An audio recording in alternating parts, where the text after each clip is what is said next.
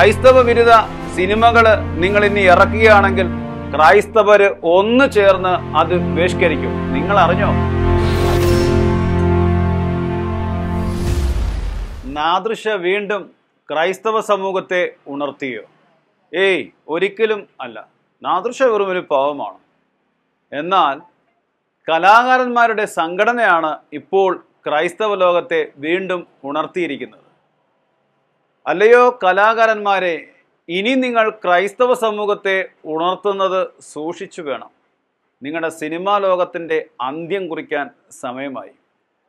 ക്രൈസ്തവരായിരുന്നൊരു കാലഘട്ടത്തിൽ സിനിമാ ലോകത്തെ നിലനിർത്തിയിരുന്നത്. എന്നാൽ ഒരു കാലഘട്ടത്തിൽ സിനിമ കാണുന്നത് പാവമാണെന്ന് പറഞ്ഞു വരുന്നവര് ഇന്ന് സിനിമയെ ലക്ഷ്യം വെച്ചുകൊണ്ട് ക്രൈസ്തവ ലോകത്തെ തകർക്കുവാൻ ശ്രമിക്കുമ്പോൾ നിങ്ങൾ ഓർത്തുകൊള്ളുക. ക്രൈസ്തവർ എന്തെങ്കിലും ഉപേക്ഷിക്കുന്നു എങ്കിൽ അത് ഒരു കാരണത്താൽ മാത്രമായിരിക്കും യേശുവിനോടുള്ള സ്നേഹത്തെ പ്രതി. ഇരുപത്തിമൂന്ന് വർഷം കഴിഞ്ഞു ഞാൻ സിനിമാ തിയേറ്ററിൽ പോയി സിനിമ കണ്ടിട്ട്. അത് മാരകമായ പാപമായതുകൊണ്ടല്ല ഈശോയോടുള്ള സ്നേഹം തോന്നിയപ്പോഴത്തേന് അത് ഉപേക്ഷിക്കാൻ നിർബന്ധിതനായതാണ്. ഇതുപോലെയാണ് അനേക ക്രൈസ്തവർ ഈശോയോടൊരു സ്നേഹം തോന്നിക്കഴിഞ്ഞാൽ അവരെന്തും ഉപേക്ഷിക്കുമെന്നുള്ള കാര്യം നിങ്ങളുടെ ശ്രദ്ധയിൽപ്പെടുത്തുന്നു. അനേകരുടെ ഹൃദയത്തിൽ ഈശോയോടുള്ള സ്നേഹം വർദ്ധിക്കാൻ ഇടയായത് ഈ ഒരു സംഭവത്തോടു കൂടെയാണ്. അലയോ വിശ്വാസികളെ നിങ്ങൾ അറിഞ്ഞോ? നിങ്ങൾ ഈ കഴിഞ്ഞ ദിവസങ്ങളിലെല്ലാം അനേകർ തീരുമാനമെടുത്തതല്ലേ? ഇനി ഇതുപോലുള്ള സിനിമകൾ കാണുകയോ അതുപോലെ അതിനകത്ത് അഭിനയിക്കുന്നവരുടെ സിനിമകൾ കാണുകയോ ചെയ്യില്ല എന്ന തീരുമാനത്തിൽ ഒന്നാകെ നിങ്ങൾ ബഹിഷ്കരിച്ചിരിക്കുകയാണ്. ഇനിയും ബഹിഷ്കരിക്കാത്തവരോടും ഇനിയും തീരുമാനമെടുക്കാത്ത വിശ്വാസികളുണ്ടെങ്കിൽ ചില കാര്യങ്ങൾ നിങ്ങളുടെ ശ്രദ്ധയിൽപ്പെടുത്തുകയാണ്. അതായത് കഴിഞ്ഞ ദിവസം റിപ്പോർട്ട് ചാനലിൽ വന്നിരുന്നുകൊണ്ട് നാദൃശ പറഞ്ഞ കാര്യം നിങ്ങൾ ഓർത്തില്ലേ? നാദൃശ പറയുകയായിരുന്നു സംഘാടകരുടെ ഏക തീരുമാനമാണ് ഈ പേരുകൾ മാറ്റുകയില്ല എന്ന്. കാരണം എന്താണെന്നറിയാമോ? ഇപ്പോൾ ഈ പേര് മാറ്റുകയാണെങ്കിൽ വരുന്ന ആളുകളിലെ ഇനിയൊരു പേരോ ക്രൈസ്തവ വിരുദ്ധ സിനിമകളോ ഇറക്കാൻ പറ്റത്തില്ലെന്നുള്ളതാണ് അതിന്റെ അർത്ഥം. എന്നുവെച്ചാൽ വരും നാളുകളിൽ ക്രൈസ്തവ വിരുദ്ധ സിനിമകൾ ധാരാളം ഇറക്കുമെന്നുള്ള തീരുമാനം നമുക്കത് പറ്റുമോ?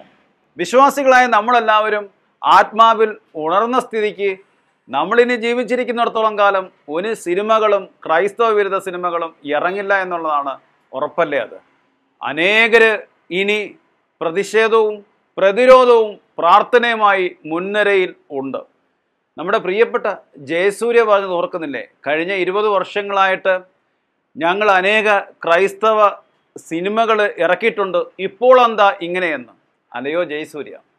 രണ്ടായിരത്തി പത്ത് മുതൽ രണ്ടായിരത്തി ഇരുപത്തി ഒന്ന് വരെയാണ് അനേക മേഖലകളിലെ വിശ്വാസത്തെ തകർക്കുന്ന വിധത്തിൽ വിവിധ രൂപത്തിലും വിവിധ ഭാവത്തിലും പല സിനിമകളും ഇറങ്ങി അനേക യുവജനങ്ങളെ വിശ്വാസത്തിൽ നിന്നും വ്യതിചലിപ്പിച്ച് കളഞ്ഞത്.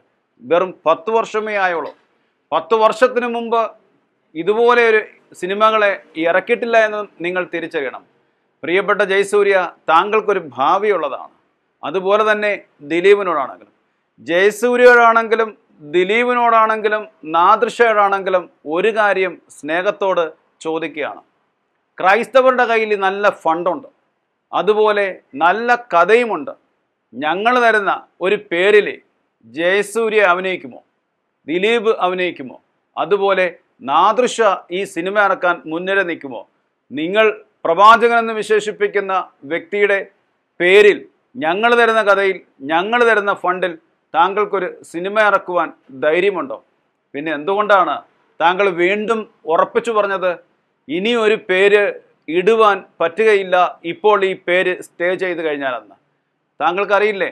അനേകര് കോടതിയിലേക്ക് പോയി കഴിഞ്ഞു ഇനി കോടതി വിധി നിങ്ങളുടെ കൂടെയാണുവെങ്കിൽ പോലും നിങ്ങൾ ഈ രണ്ട് സിനിമകളും ഈ പേരിൽ ഇറക്കുകയാണെങ്കിൽ ഇതുപോലെ ഏതെങ്കിലും ഒരു സിനിമ ഇതേ പേരിലില്ല.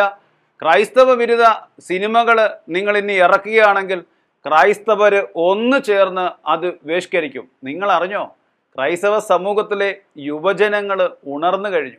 അവർ നിങ്ങളുടെ സിനിമകൾ ക്രൈസ്തവ വിരുദ്ധ സിനിമകളും അതിൽ അഭിനയിക്കുന്നവരുടെ നല്ല ഫിലിമുകളും വേഷ്കരിച്ച് തുടങ്ങിക്കഴിഞ്ഞു. അല്ലയോ? നാദൃശ താങ്കളൊരു നല്ല മനുഷ്യനാണ്. നല്ലൊരു വ്യക്തിത്വത്തിന്റെ ഉടമയാണ്. പക്ഷേ താങ്കൾക്ക് ഇടം വലം വ്യതിചലിക്കാൻ പറ്റാതെ താങ്കളെ പൂട്ടിക്കഴിഞ്ഞു. താങ്കളെപ്പോലുള്ള കലാകാരന്മാരോട് താങ്കൾ പറഞ്ഞുകൊണ്ടൊരു തീരുമാനമെടുക്കണം. ഇനി ക്രൈസ്തവരെ ഉണർത്തരുതും. ഉണർത്തിക്കഴിഞ്ഞാൽ നിങ്ങളുടെ ഭാവി ഇല്ലാതായി പോകുമെന്ന് ഒരു മുന്നറിയിപ്പും കൂടെ ആയിരക്കണക്കിന് മനുഷ്യരുടെ പ്രതീകമായി ഞാൻ പറയുകയാണ്. താങ്ക്